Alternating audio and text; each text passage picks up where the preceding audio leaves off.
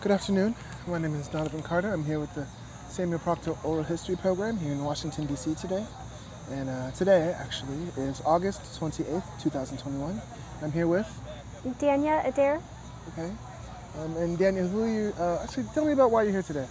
Um, I'm here in honor of my stepdad, Pat West. He was shot by um, police in Grays Harbor County, Washington on April 16th, 2019, and he died the next morning. Um, he was having a mental health crisis, and my mom called for uh, mental health professionals to do a wellness check, and then they called the cops, and then they called their friends, and 31 officers responded to that call, um, escalated the situation until it was lethal.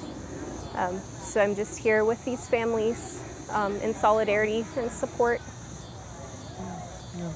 Thank you, Daniel. Um, do you know more about the, the day of your stepfather's death? Yeah, um, I wasn't there. I came by the next morning. I, I moved from Minnesota to be with my mom. Um, but during that day, my mom has multiple sclerosis, and so she was having a relapse in her symptoms. Um, so she wanted to get Pat help because he was in a depressive episode of his bipolar. Um, so that's why she called the mental health professionals. Um, but he told them that he didn't want to talk to anybody. Because when you're depressed, you don't want to talk to anybody. But they took that as they needed backup. So the police came and he told them the same thing. He didn't want to talk, but they escalated the situation thinking he was suicidal, and he wasn't. Um, and throughout the afternoon, um, one of the officers said that Pat assaulted an officer, so a, a tactical unit came, and that's where the additional armored vehicle and um, like SWAT-esque team came by um, and try to like mediate with him, and like it, it was just completely unnecessary. None of it was needed, um, but because he wouldn't leave his own house, they thought it was appropriate to um, breach our security fence and break down our basement door to get to him. Um, and allegedly, he threw a piece of steel because he was a mechanic. He was in his basement, like workshop. Allegedly, he threw a piece of steel at them, and that's when an officer shot him.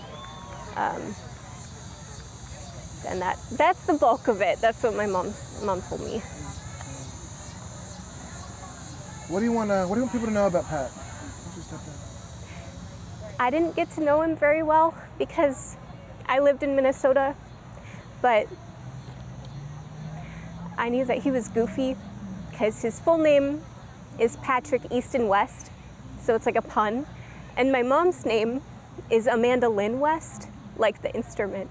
Um, so they both had goofy names. They both made each other laugh a lot. And he made her the happiest I'd ever seen her. Um, so when she moved out to Washington and met her, I knew that she was in good hands, even though she was so far away.